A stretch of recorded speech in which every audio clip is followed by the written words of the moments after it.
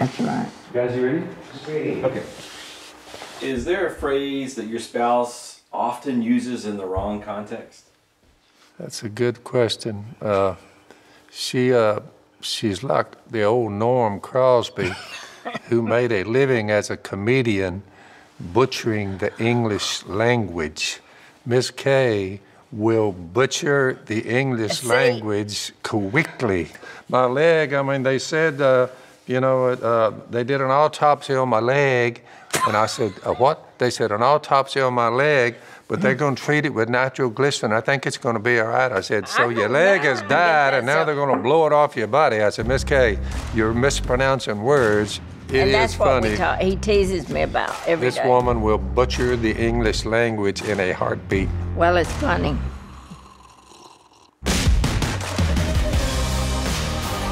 From the 70s to today, they went from fighting each other to fighting for each other and learning to be happy, happy, happy, as Phil says. This is Straight Talk from Phil and Kay Robertson and the continuation of our journey from dysfunction to dynasty.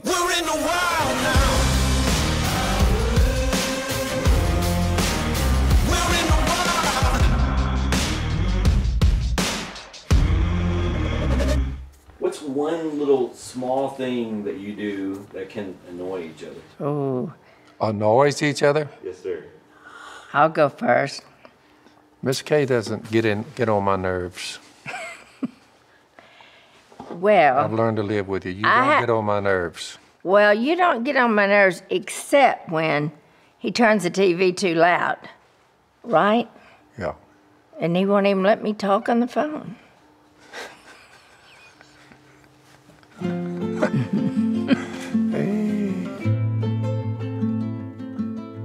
Miss Kay claims the first time she ever laid her eyes on me, it was at, at, the, at the high school where we attended. I was one year ahead of her.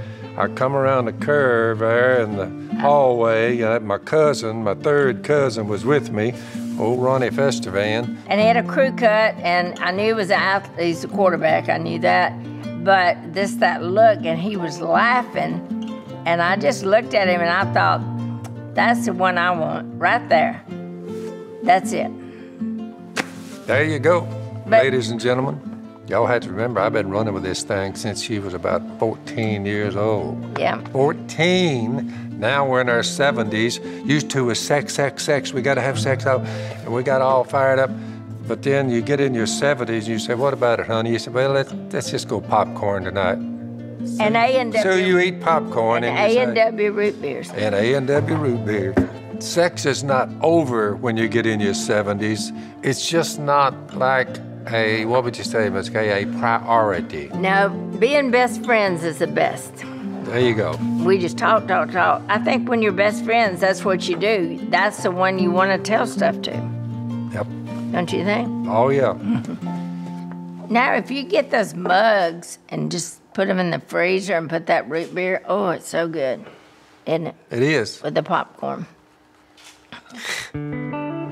I tell the women now that I talk to all the time, you've got to use your sense of humor too. If you don't have one, go to Walmart and get one because you can't make a marriage work without a sense of humor, as far as we're concerned. Yep. I mean, there's so many times when we start off and we're getting mad, and then I might say something funny, and then Phil starts laughing.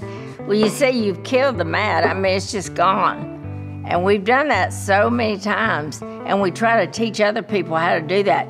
Think about something. Is it that important to have a big knockdown drag out? Or you can think of something funny and then everybody laughs and you're all over it. We've done that years in a row, Yep. Haven't we? Good advice, Miss Kay. well, you live and learn. Uh, You, you- you can't try to convince people they need to behave if you and your woman are doing the very thing that you're telling them they shouldn't do. Therefore, uh, when you stand on the gospel, you uh, stand up for Jesus, you tend to stand out among the world's population. So we, we don't have any mischievous behavior going on down there around the Robertson household.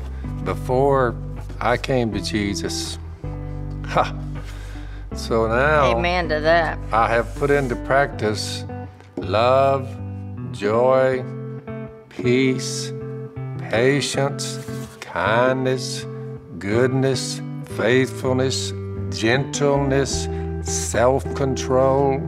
So, once those things, the qualities, the fruit of the Spirit, are seen by your neighbors and the people you meet And your kids. and your kids, when they see that, they're like, let's see, when they should be mad, they're not.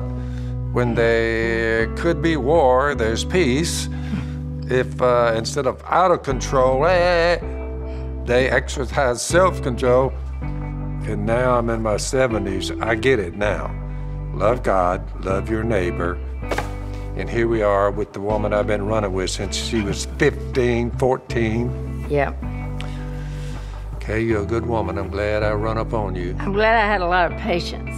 My grandmother taught me that. When I was a little girl, I stayed with my grandmother because we had a grocery store, and we would sit in the swing, and my grandmother would be shelling peas or shucking corn.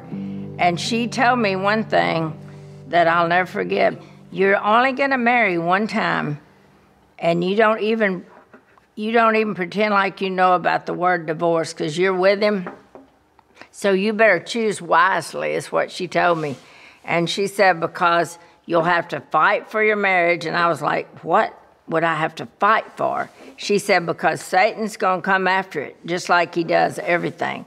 And she said, but you have to fight and you have to say to him, nope, this is, I, I vowed to God to take him forever, and I will. And that's exactly what happened. And Satan did come in. Within a year of us being together, he, he made his presence known. And, and that, you know, 10 years, he was a jerk. But now, he's the most godly man and he's gentle.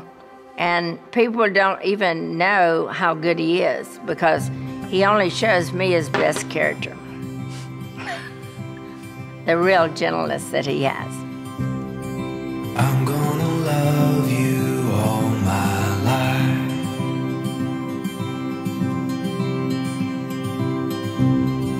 I'm gonna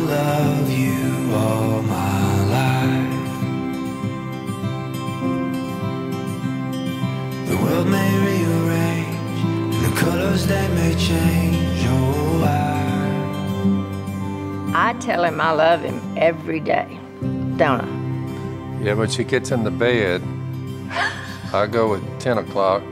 She rolls in there about Love your saying that. 12:31, but she reaches over there, she finds my hand, and she squeezes my hand. And you squeeze it back, Then I squeeze her back, and then and it's under a pillow. Because every night. Yep. I think that's really cute too that he thought of that. I thought of it and he joined me. I'm gonna love you all my life. The problem was I didn't really have any answers for all the voices.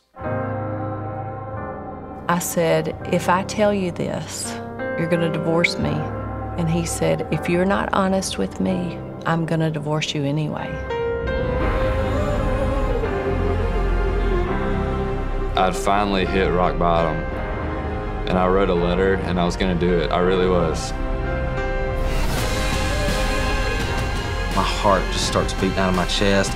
My dad said, Son, are you ready to change?